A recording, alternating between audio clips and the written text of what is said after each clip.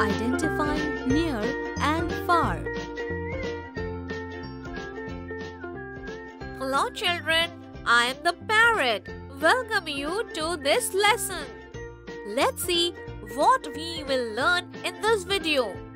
Identifying objects which are near and far and identifying the nearest and farthest objects. Chotu and Aarti are walking home from school today. On the way back home, Aarti spoke to Chotu. Chotu, we leave from school to go home at the same time. But you always arrive early and I get home later. Why is it so? Children, do you know why does this happen? Come on, let us see. Aarti, my house is near the school and your house is far from the school. So that's why I reach home early and it takes you more time to reach home. Okay, now I understood Chotu. So kids, did you see? Chotu's house is near the school and Aarti's house is far from the school. That is why it takes her more time than Chotu to reach home. One day, Chotu, Aarti and Sonu were returning from the park after playing. While returning, they wanted to have some ice cream. I am very tired, friends. Let us go and have some ice creams today. Come on, let's go to Lala Bhaiya's shop to eat ice cream. No, that shop is far away. Come on, let's go to Chinmun aunt's shop. It's nearby. Just look, there is an ice cream shop nearby. Yes, it is nearest. Let's go and eat from here only. Chotu, Aarti and Sonu together took ice creams from the nearest shop. So children, you saw Lala Bhaiya's shop is the farthest from all three friends and the ice cream shop was nearest. Therefore, the three friends took ice cream from the nearest shop. In this video, we learned identifying objects that are near and far and identifying the nearest and farthest objects.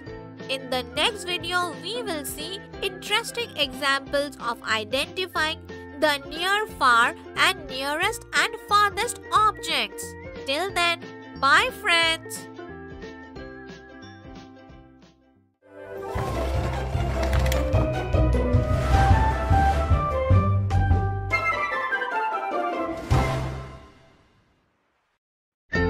Some interesting examples of near and far. Hello children.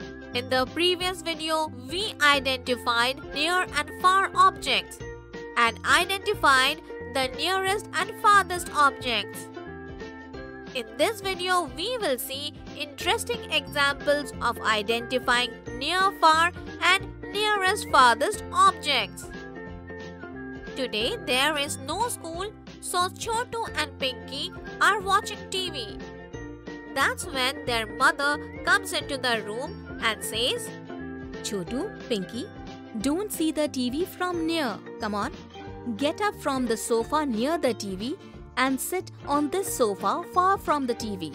Chotu and Pinky get up from the sofa nearest to the TV and go to the one farthest from the TV.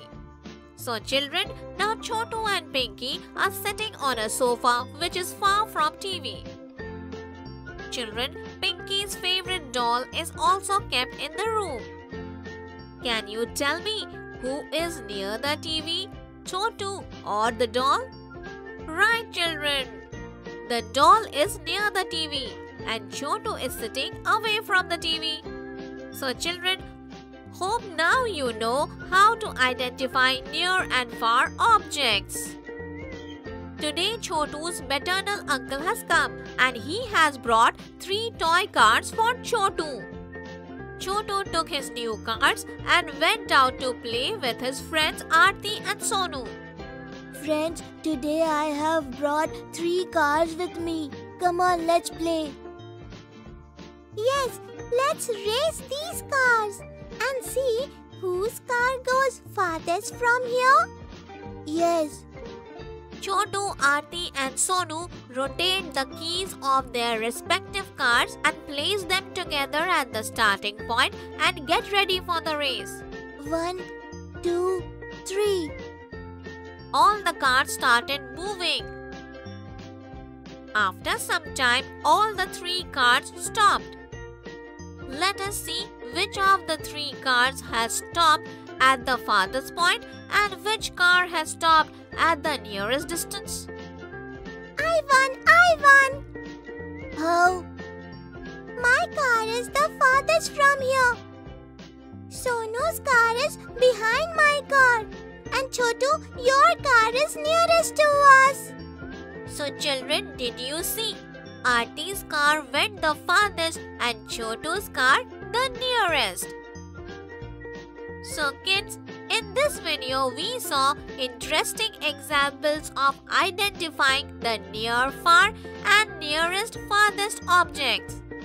In the next video we will see some common mistakes in identifying the near far and nearest farthest objects. Till then, bye friends.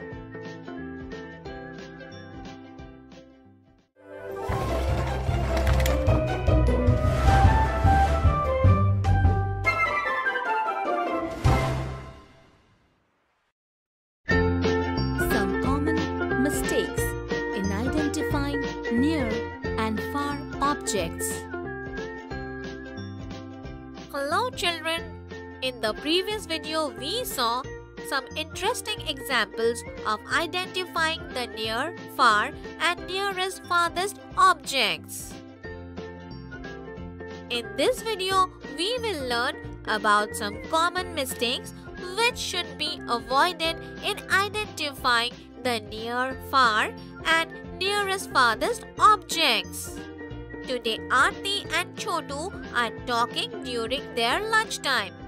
Aarti, yesterday I walked to school with my mother and I felt that the school is very far from home. But today I came in car with my father and I felt that the school is very near. Why is it so? Chotu, the school doesn't go far or near. Yesterday, when you walked to the school with your mother, you took more time. And today, you came by car.